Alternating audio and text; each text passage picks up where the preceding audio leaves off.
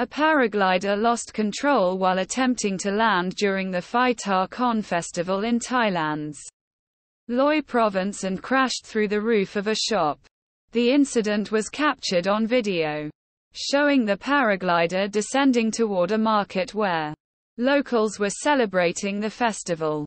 Instead of landing in the designated area, the paraglider veered off course and crashed into a canopy hanging over the market. Fortunately, neither the paraglider nor any onlookers were harmed. The individual walked away from the crash, leaving a dent on the roof where he landed. Witnesses expressed shock and emphasized the need for caution during crowded events.